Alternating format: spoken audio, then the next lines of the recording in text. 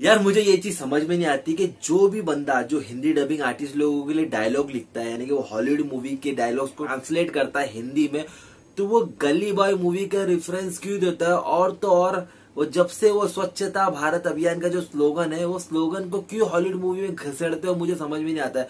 आप लोग, मैं यहाँ पर फालतू की चीज़ नहीं बोल रहा हूँ। ये चीज़ आप लोगों ने भी नोटिस किया होगा। गली बॉय मूवी जब से रिलीज़ हुई, हर हॉलीवुड की दूसरी मूवी में जो हिंदी डब होती है, उसमें गली बॉय का रेफरेंस देते हो। क्यों भाई? सौ साल का एग्रीमेंट साइन करवाया तुम लोगों ने गली बॉय वालों से? क्या है? ये मुझे कमेंट सेक्शन में ज़रूर बताना अगर कोई उस टीम का मेंबर इस वीडियो को देख रहा है तो। खैर, अब हम लोग बात करेंगे द लास्ट मर्सनरी मूवी जो कि आपको नेटफ्लिक्स पर देखने को मिलती है।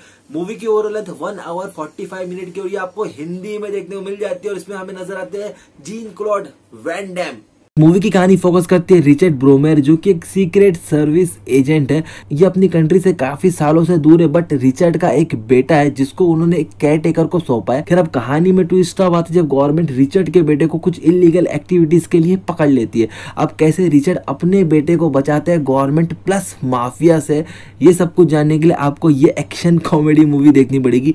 मैं आपको एक ही चीज़ बोलूँगा कि अगर आप लोग वैन सर के बहुत बड़े फ़ैन है तो आपको पता होगा कि आप वो काफ़ी ज़्यादा ओल्ड हो चुके हैं और वो जो एक मैजिक था उनके अंदर कहीं ना कहीं, यार इतनी एज हो गई तो हम उनसे क्या ही एक्सपेक्ट कर सकते हैं? हालाँकि स्टार्टिंग में ही आपको समझ में आ जाता है कि ये मूवी आपको काफ़ी ज़्यादा इरीटेट करेगी और ऐसा होता भी है, क्योंकि इसकी कहानी अच्छी है, लेकिन the way they have started मैं यहाँ पर यहाँ पर वैंडेन सर की एंट्री की बात नहीं करूँ। एंट्री बहुत ही धमाकेदार है फुल टू पैसा वसूल है, लेकिन उसके बाद उसके बाद जो एक चिरकुट का इंट्रोडक्शन होता है ना, वो चिरकुट यानी कि जिस एक्टर ने यहाँ पर रोल प्ले किया है वैंडम सर के बेटे का, वो चिरकुट की जब एंट्री होती तब आपको समझ में आता है कि यार ये को डब्ल्यू डब्ल्यू e का कार्ली तो है।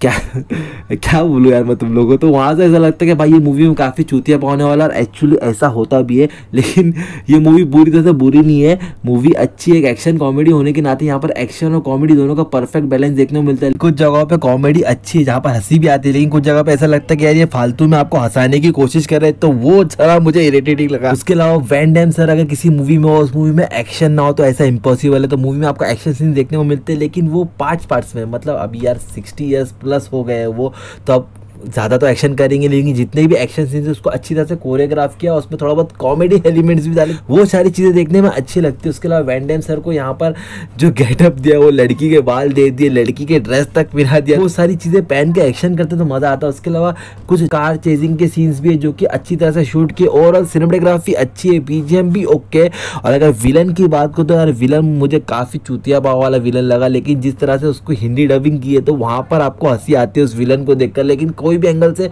वो विलन दमदार नहीं लगता है।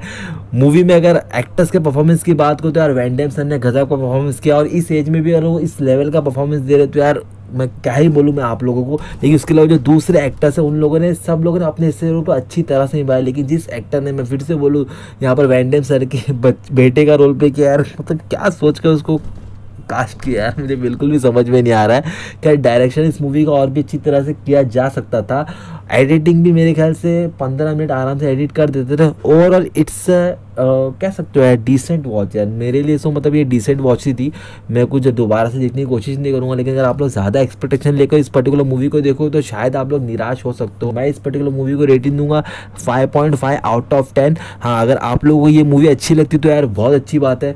मैं कौन होता आप लोगों को बोलने वाला? लेकिन मेरे हिसाब से तो भाई मैं दोबारा तो नहीं देखूँगा।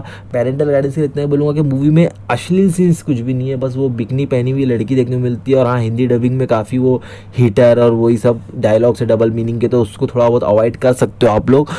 तो मेरे हिसाब से तो ये अकेले देखो ज़्यादा बेटर है। तो यार, बस इस वीडियो में इतना ही, मिलते हैं नेक्स्ट वीडियो में तिल देन बाय